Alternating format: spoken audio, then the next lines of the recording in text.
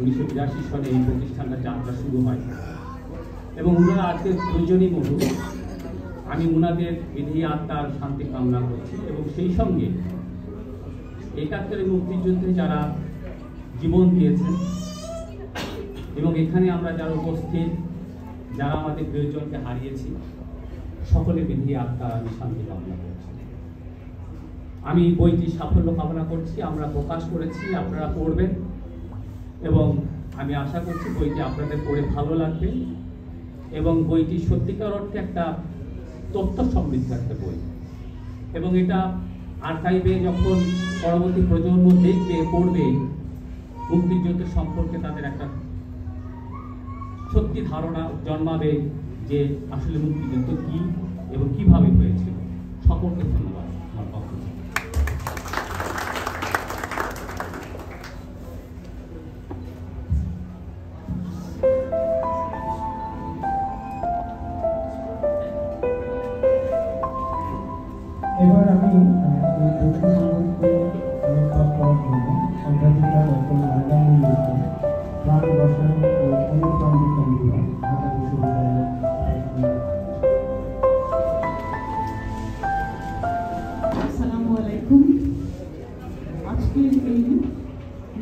লক্ষ্যে অনিশ্চিত যাত্রা উনিশশো একাত্তর শীর্ষক বইয়ের প্রকাশনা উৎসবের সম্মানিত সভাপতি, বরেণ্য শিক্ষাবিদ, গবেষক, ঢাকা বিশ্ববিদ্যালয়ের অধ্যাপক, জনাব আবুল কাসেম ফজল হক স্যার, বইয়ের লেখক, আমাদের অতি প্রিয় জনাব মুসাদ্দেক আজম সিদ্দিকী সাহেব আমাদের খালেদ ভাই হয়তো আপনাদের অনেকের কাছে তিনি খালেদ নামে পরিচিত। ওনার নাম যে একটা মুসাদ্দেক আছে এটা আমি প্রায়শই ভুলে যাই। সেই ব্যাচের অনেকের পরিবার আত্মীয় স্বজন আমাদেরও পরিবারের সদস্যবৃন্দ এবং উপস্থিত সুবিধান আপনাদের সবাইকে আন্তরিক ধন্যবাদ জানাচ্ছি আমাদের বসেছিলাম এই বসাটা আসলেই সার্থক আপনারা বুঝতে পারবেন। আমাদের মাঝে বরণ্য ব্যক্তিবর্গ উপস্থিত আছেন। আমার জানা মতো ডক্টর স্বাধীন মালিকেরও আসবার কথা ছিল আমি আপনাদের বই এটা সত্যি একটা মাস্টার পিস হয়েছে আমি বলব তবে এখানে অবশ্যই আমাদের শিক্ষক উপস্থিত আছেন এখানে প্রফেসর আবুল কাসেম ফজলক স্যার উনি ওনার মতো করে বলবেন বাট আমরা কিন্তু বাই আমরা একই পরিবারে কিন্তু বৈবাহিক সূত্রে আবদ্ধ উনি আমার আইনের ভাই আইনের ভাই বলতে যা বোঝায় তাই একজাক্টলি নির্ভর করেন তো যাই হোক, এই বই আসলে উনি এত সহজ কথা, এত সাবলীল উনি এটা বলছেন, আমি আসলে সত্যি উনি নিজেও বলেছেন ওনার কথাতে। আমি আমার ননদিনী এবং পুরো পরিবারকে আসলে আন্তরিক, আসলে ওদের প্রতি ধন্যবাদ জ্ঞাপন করছি যে অনেক উৎসাহ লাগিয়ে মানে ওনার মতন পর্যায়ে এসে এরকম একটা বই খুবই খুবই কষ্টসাধ্য ব্যাপার। তো তেমন কিছু আসলে ভুল চোখে পড়েনি। একটা জায়গা হতো আটটা এছাড়া আসলে এটা খুবই সুন্দর একটা জিনিস হয়েছে, আমি বলব। আমি শেষ করতে পারিনি আনফর্চুনেটলি বাট অত্যন্ত সুন্দর, অত্যন্ত আমি চমৎকৃত হয়েছি। ওনার যে যে কথাগুলো যেভাবে উনি একটা সাধারণ মানুষ যেরকম চিন্তা করে, যে হঠাৎ করে আমরা দিশেহারা হয়ে গেলাম, কি করব? সেই রকম সময় থেকে তিনি তিনি যে তুলে আনলেন এই ওনার প্রথম সময়টা ওনারা যে সময় নভেম্বরে যাচ্ছেন উনি বলেছেন সবকিছু আমরা, আমি আশা করি এই বইটা অবশ্যই এটা, একটা ওনারা বললেন স্যার বললেন যেটা আর্কাইভের রাখার মতো বই এবং সত্যি এটা আমাদের সবার এটা এটা পড়ানো একটা বই। সত্যিকার অর্থে যদি আমরা ঘটনাগুলি কিছুটা হলেও যদি আমরা জানতে চাই, এবং আমার জানা মতে উনি যে জীবন বাজিয়ে রেখে সে আঠারো বছর বয়স, উনিশশো একাত্তর সালে ওনার আঠারো বছর বয়স ছিল ওরা যে যুদ্ধ করেছেন, উনি আপনারা নিশ্চয়ই অনেকে জানেন বা জানেনও না, উনি কিন্তু মুক্তিযুদ্ধের সার্টিফিকেটও নেন না যেমন এবং আপনারা জানেন যে এটা একটা পর্যায়ে কিন্তু পণ্যের মতো রয়ে গিয়েছে। এখনও কিন্তু অনেকগুলো কেস আছে যারা কিনা মুক্তিযুদ্ধ বলতে চান যারা অনেকগুলো কেস কিন্তু এখন আনরিজলভড আছে। যাকে আমরা অনেক সাধারণ মুক্তিযুদ্ধ বলে আবার বলিও কিন্তু তাদের মধ্যে উনি একজন অনন্য সাধারণ তো এই বই নিয়ে আমি আর তেমন কিছু বলব না। আমি খুবই চমৎকৃত হয়েছি। আমি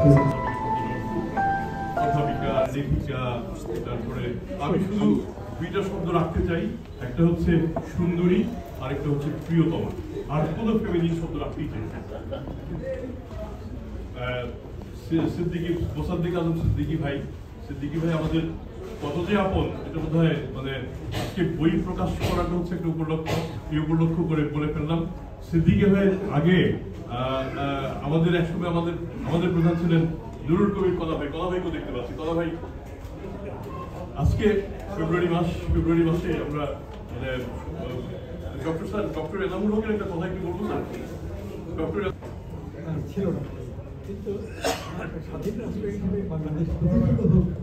পাকিস্তান থেকে বিচ্ছিন্ন হয়ে স্বাধীন রাষ্ট্র হিসেবে বাংলাদেশ গড়ে উঠুক আমরা বাঙালি। চেতনা ছিল তখন।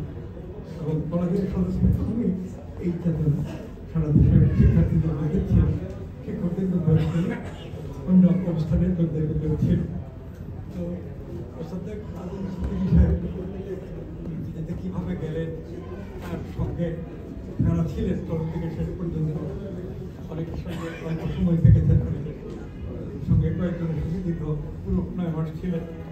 ফিরে আসছেন ঘনিষ্ঠ যাদের সঙ্গে ছিলেন তারা কেউ কেউ শহীদ হয়েছেন মুক্তিযোদ্ধায় তো এইসব ঘটনা অভিজ্ঞতা তিনি এই বইটাতে প্রথম থেকে শেষ পর্যন্ত বর্ণনা করেছেন স্বাধীন বাংলাদেশ প্রতিষ্ঠিত হতো এই সম্পর্কে অল্প কথাই লিখেছেন যে এটা সকলের জন্য আনন্দের ব্যাপার ছিল সাধারণ মানুষ, যারা মুক্তিযুদ্ধ করেছেন তারা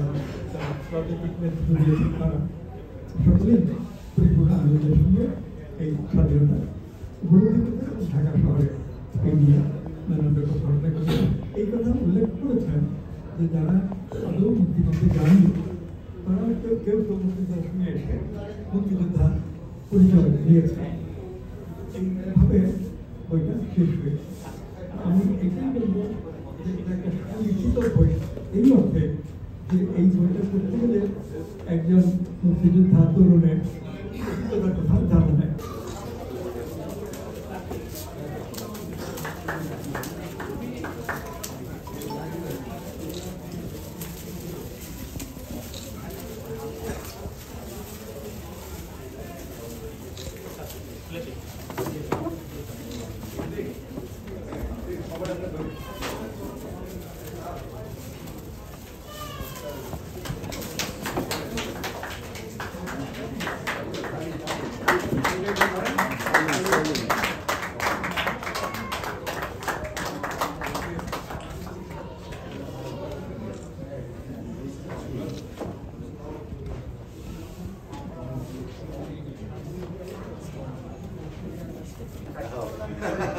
দেখলাম আমি দিবা তুমি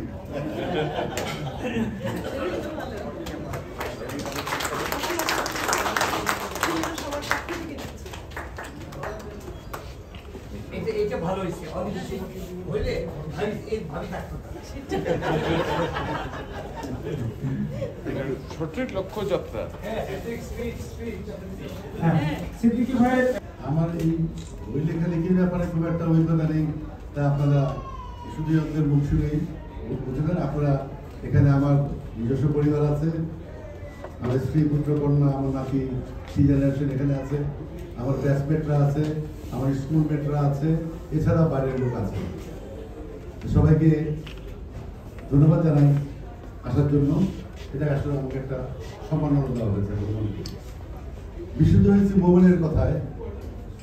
আমার নামে কেউ উৎসর্গ করবে এটা আমি স্বপ্ন দুঃস্বপ্ন সুখ স্বপ্ন কোনো স্বপ্ন কল্পনা করি নাই। শুধু মোবাইল ধরে আমাকে কোন স্বপ্নে নিল ঠিক বুঝতে পারলাম না। বাটার সিস্টেম বলে আচ্ছা আমি লম্বা করব সময় কারণ আমরা বিভিন্ন কারণ দেরি হয়ে গেছে traffic jam factor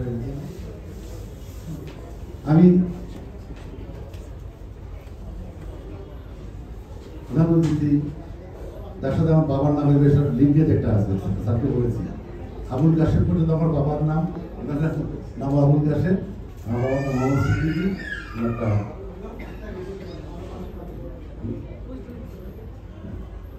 Abul Kashem Fazlullah আনন্দ পেলাম।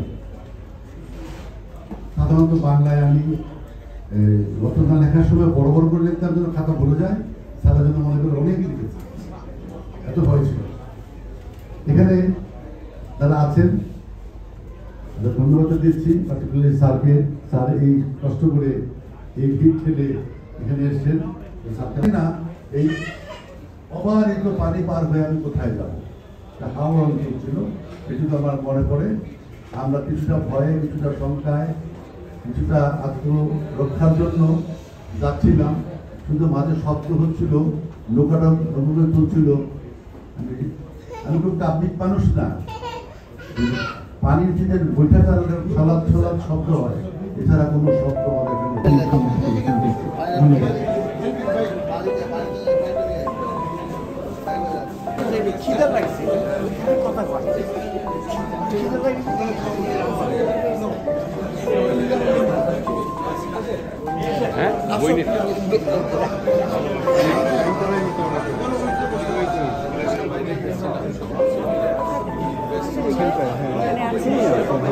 আমরা ওখানে গেছি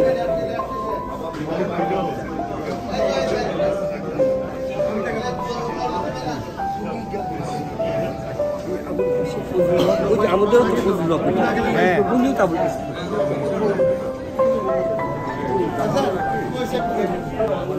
অটোগ্রাফের